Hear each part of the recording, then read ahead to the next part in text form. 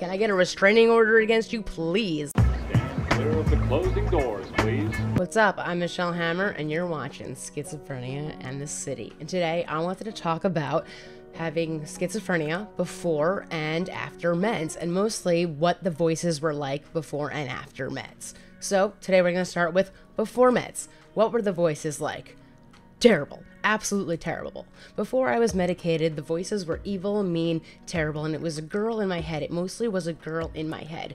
And she was so evil all day when I would just go through life, go through high school, go through everything like that, this girl in my head would always tell me, "Don't say that, don't do that, don't talk, don't be like these people, don't just say that, don't eh, don't do anything." I say, "Don't raise your hand in class because you don't know the answer. You're going to be wrong. Don't say that to this person." Everything I said, after I said it, I heard a voice in my head telling me, don't speak to that person or anyone just don't talk to them you're stupid and then i'd come home at night I'd think in my in as I was going to bed, going to have a nice sleep, right? I would think back, the voice in my head would attack me and say, "Remember when you said this to that person? You were stupid. Remember when you said this to that person? You were stupid. Remember when you said this to that? You're stupid. Everything you said was dumb. You're so dumb. Everything you say is so stupid. Don't say anything." And I would cry every night. I would cry every night, wake up with puffy eyes, and then you know, teachers, whatever at school thought maybe she has a drinking problem. Why does she have puppy, uh, puffy red eyes every day?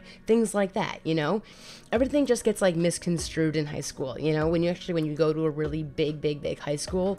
When I was in high school, it wasn't always learning about mental health. When I learned about mental health in high school, I heard that depression was being sad for two weeks or more. Okay, I was sad all the time, and I didn't know what happiness was, so being sad for two weeks or more, that, that in my head, I didn't get. So I was sad all the time. So how could I know what two weeks or more really meant? You get what I'm saying here?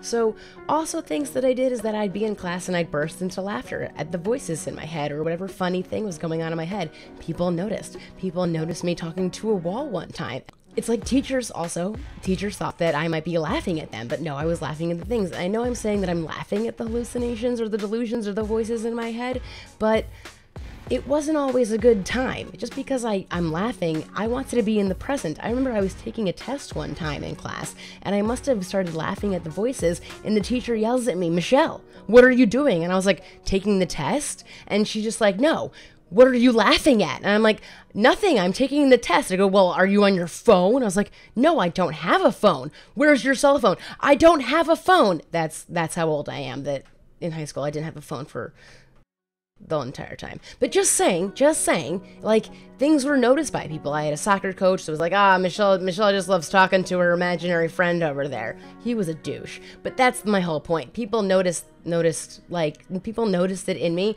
But since mental health was not recognized the same way it is now, it was never brought up in a positive way. It was always brought up in a negative way of how are you acting this way? Why are you acting this way? It's negative. It was always a negative thing. And then if I did try to get help, if I did sell sell somebody that no, I can't do that because in my head I, I'm not allowed to do that. Like like no, I, I can't. I'm not allowed to. And like, what do you mean you're not allowed to? Like no, like like in my head, like I'm not like like there might be something in my head not allowing me to do this. It was you told somebody about me you told somebody about me. You're not allowed to tell anyone about me. No.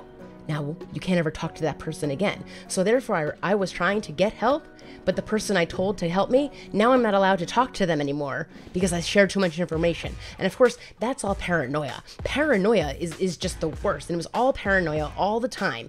And I think I didn't make that clear earlier that this was all paranoia in my head never stopping, never stopping nonstop paranoia. And it wasn't until I was actually diagnosed as bipolar, and then it was kind of like a depression. And in college, my sophomore year of college, I got prescribed this tiny little yellow pill. I'm not going to say what it was because I don't like people copying me on medication and things go wrong, but I got prescribed this pill, and I took it, and then it was silent. There was no voices in my head. There was nothing questioning me on everything I said and did at any point of the day. And I thought, is this is this how life is supposed to be? Because it was just so quiet and I was like, this is amazing. I can't believe this. I I feel so much better. Switch 2.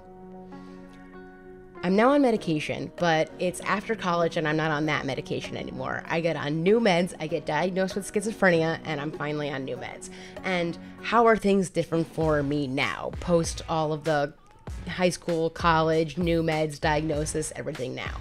So, that I don't hear the nasty, horrible girl in my head anymore. She's gone, thank God. But I do, I do still have like you know some hallucin- hallucinations, delusions, things like that.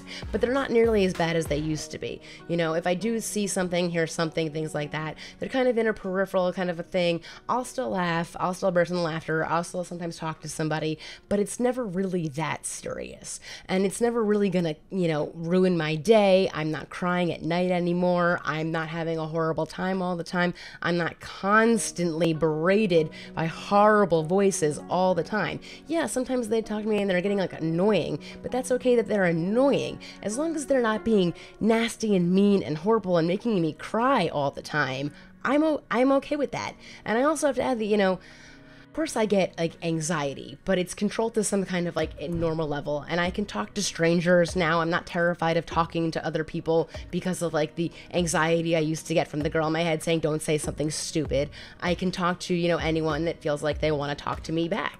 I'm cool with that now. And I understand, you know, also I do take seven medications daily, and without those seven medications, I would just not be able to function in life. I'd be like I was back in the day of in my bed, kind of. And this did happen one time when I missed my meds. I was in my bed going, "Oh my god, I'm terrible. I say the dumbest things. I told the world I have schizophrenia. I'm so stupid." So yeah, it'll come back if I don't take my meds, and that girl will come back in my head, and she, she she's there. She's just she's there. She's not here now. She's she's like way far away past in the next building. You know, she's gone for now, but you know, it's scary knowing that she can actually come back one day and I I don't ever want to hear her ever again. Like that that bitty gone, you know? Stay stay away. Can I get a restraining order against you, please?